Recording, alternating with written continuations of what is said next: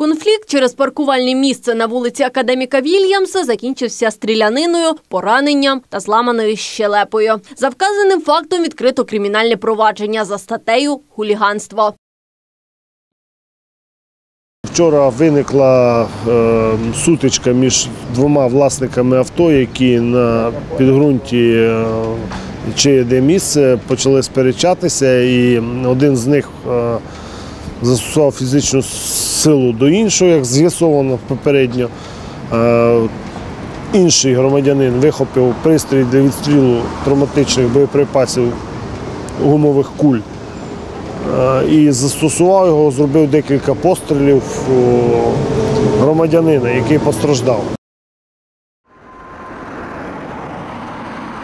Чоловік, що отримав поранення, вже вдома, а інший зі зламаною щелепою досі перебуває у лікарні.